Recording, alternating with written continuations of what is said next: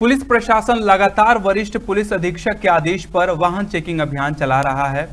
जनता को सुरक्षा की हिदायत दे रहा है, लेकिन हादसे कम होने के नाम नहीं ले रहे हैं। आज फिर जसपुर पशुपति प्लांट के ड्यूटी से वापस जा रहे अज्ञात युवक को वाहन ने टक्कर मार दी, जिसमें मोटरसाइकिल सवार युवक गंभीर रूप से घायल हो गया।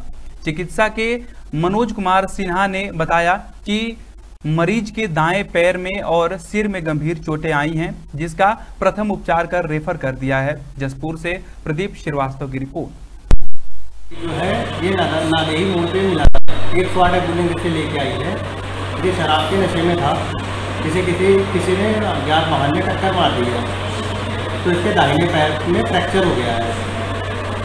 और इसके सर में भी चोट आई है। काफ़ी ब्लीडिंग हो गई है। पेशेंट की हालत बहुत सीरियस है।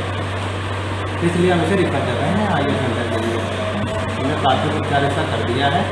अब इसे उसको हमने रिफर कर दिया है आई सेंटर के लिए इसका पेशेंट का नाम है नंगे ये इधर रेगड़ थाने का है ये मोहम्मद सोता